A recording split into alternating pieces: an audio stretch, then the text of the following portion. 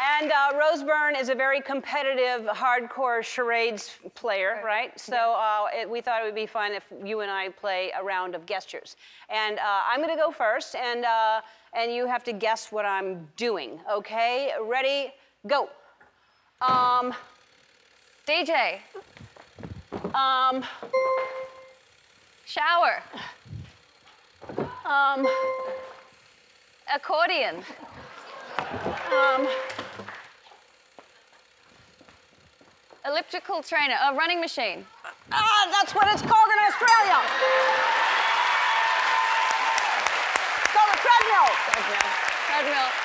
I think that's a cultural. Yeah. Ah. back in the 50s, they called it a running machine. they still call it that in Australia. Come on over here. So that's, uh, that's how you play, and so you have to grab those before they go down or you don't get the point. Okay. Go. Okay. Um, a catwalk, modeling, modeling.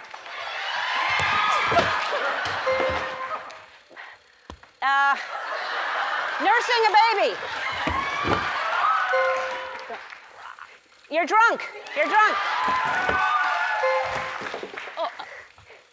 Uh, you're tap dancing. You're dancing.